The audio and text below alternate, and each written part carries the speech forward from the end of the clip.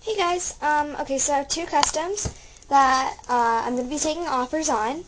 Um, first I have him. I know he started out as uh, Bay, but then he had something on his cheek right over here, and I didn't want it there anymore because it just looked really bad. So I decided let's put some white over it. So I put that, which came out pretty cool, I guess.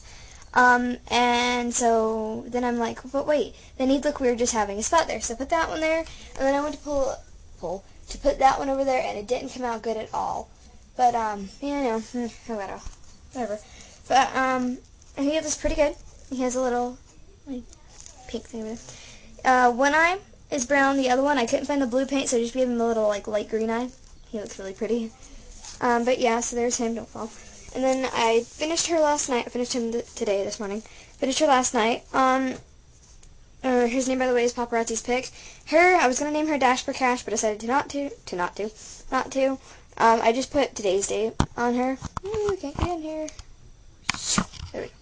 Yeah. But, um, she is, uh, flea bitten.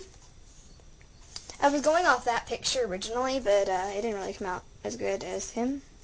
I don't guess. But, um, yeah, so she turned out pretty good, though. Um, so I'm taking offers right now. Okay, guys.